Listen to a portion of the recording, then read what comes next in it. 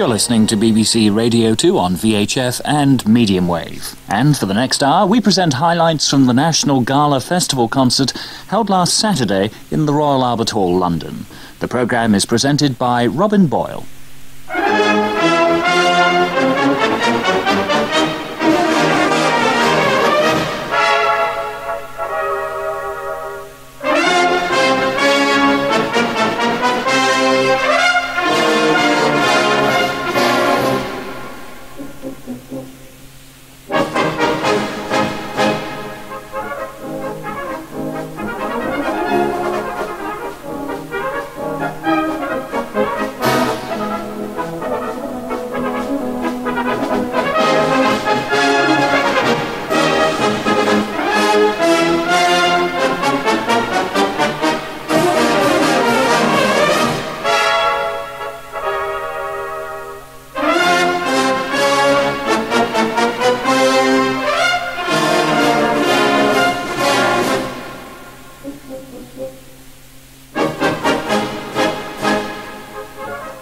There was something decidedly different about the National Brass Band Championships in London last weekend.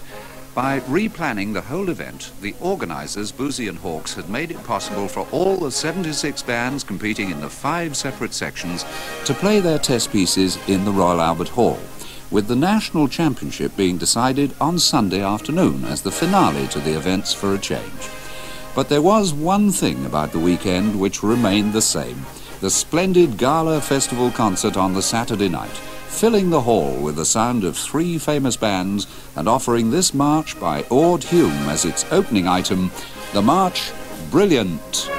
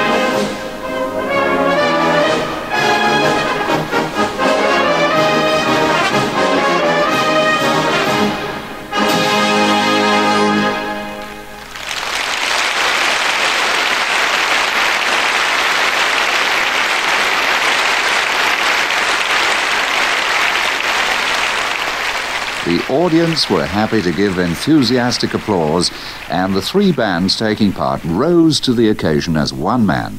Looking equally resplendent in their uniforms were Besses of the Barn, St. Austell, and Yorkshire Imperial, all being directed by guest conductor Elgar Howarth in a concert which had three parts, each with its own distinctive character. During the first section, the mass bands had an opportunity to shine with music which reflected the present day in the brass band world. Having said that, one has to admit that the original score was written in 1897 by a Frenchman, but most of us feel that the particular piece is of our own time, having been prominently featured in Walt Disney's film Fantasia and there was no doubt that the special arrangement which Derek Bourgeois had made of it demonstrated the very best aspects of the brass band's appeal and can only add to his considerable reputation as one of this country's leading brass band composers and arrangers. Music, which is undoubtedly the finest orchestral piece written by Paul Dukas and which brings its story clearly into the mind without the use of any words. The Sorcerer's Apprentice.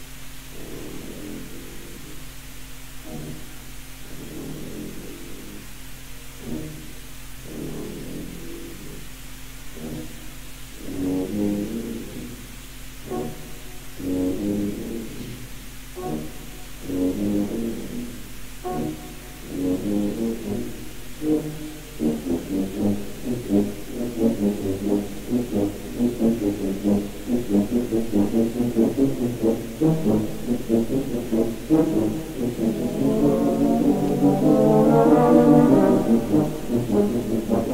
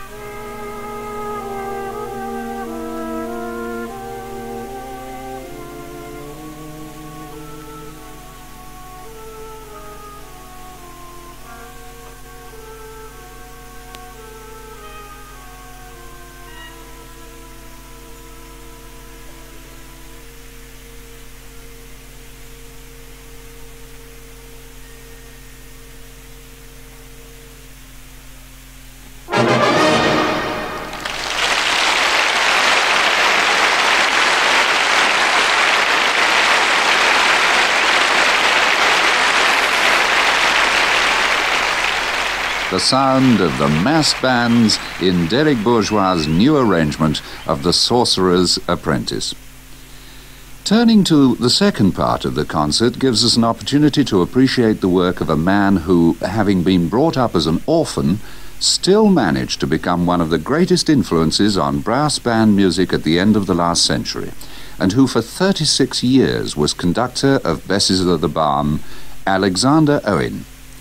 His name has been commemorated in the Alexander Owen Memorial Scholarship for individual players with outstanding talent, and among a distinguished list you'll find the name of our guest conductor, Elgar Howarth, as the winner of that scholarship on cornet in 1951. However, on Saturday evening, Elgar Howarth didn't have to play the cornet himself, because coming onto the platform was James Shepherd, for a number of years principal cornet with Black Dyke, the champion soloist of Great Britain for three years running in the early 60s, and the mastermind behind his hugely successful versatile brass. How appropriate that he should be heard with Besses on this occasion, the band which, under Alexander Owen, must have played this arrangement of his so many times, the Mermaid Song.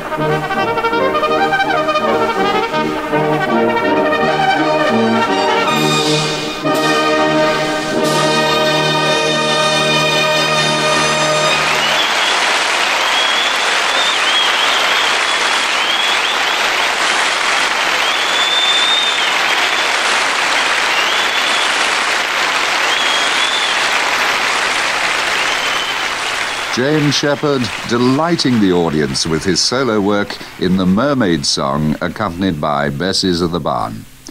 And while the original Alexander Owen arrangement still rings true, it also gives us pause to think that there aren't many pieces like that these days for cornet and band which last 10 minutes and 42 seconds.